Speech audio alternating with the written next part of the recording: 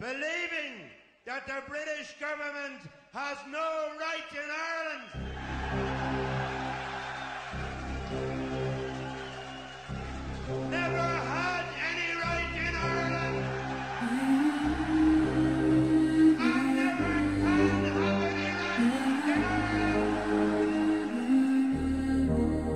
I think that the British position on Ireland can't be defended. Um, I think the injury of partition done to the Irish people is uh, a terrible one and is the root cause of the present discontent.